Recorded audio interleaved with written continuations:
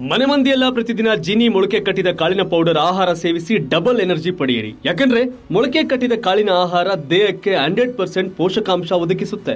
ಇನ್ನು ಮುಂದಿನ ಜಿಲ್ಲೆ ವಿಜಯಪುರ ಜಿಲ್ಲೆ, ವಿಜಯಪುರ ಜಿಲ್ಲೆಯಲ್ಲಿ ಎಂಟು ವಿಧಾನಸಭಾ ಕ್ಷೇತ್ರಗಳು. ಇಲ್ಲಿ ಒಂದು ರೀತಿ ಮೂರು ಪಕ್ಷಗಳು ತನ್ನದೇ ಆದಂಥ ಪ್ರಾಬಲ್ಯವನ್ನು ಹೊಂದಿವೆ. Congress, BJP J D S ಸ್ವಲ್ಪ ಕಾಂಗ್ರೆಸ್ ಹೆಚ್ಚಿನ ಪ್ರಾಬಲ್ಯವನ್ನು ಹೊಂದಿದೆ.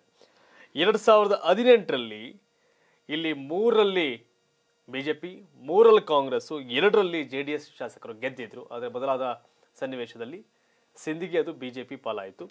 ಈ ಮೂಲಕ ಬಿಜೆಪಿ ನಾಲ್ಕು, ಕಾಂಗ್ರೆಸ್ ಮೂರು ಜೆ ಡಿ ಎಸ್ ಒಂದರಲ್ಲಿ ತನ್ನ ಶಾಸಕರನ್ನು ಹೊಂದಿದ್ದಾರೆ. ಇನ್ನು ಪ್ರಸ್ತುತವಾಗಿ ಏನು ಕತೆ? Karnataka TV mega survey.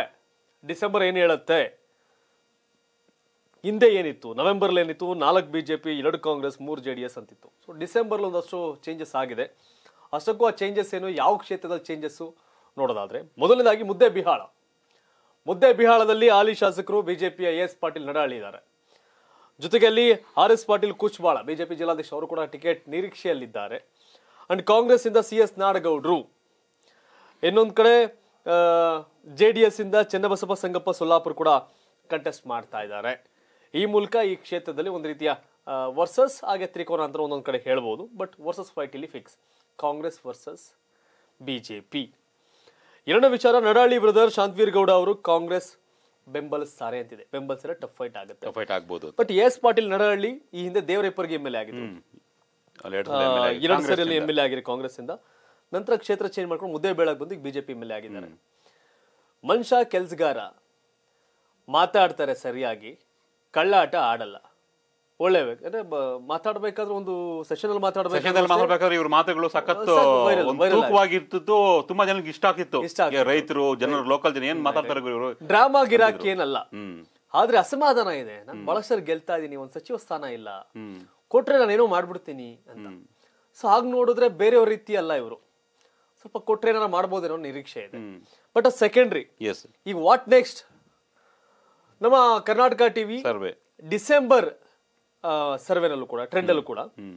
A S Patil Nadahalli ಅವರು ಬಿಜೆಪಿಯಿಂದ ಮುನ್ನಡೆಯನ್ನ ಕಾಯ್ದುಕೊಂಡಿದ್ದಾರೆ.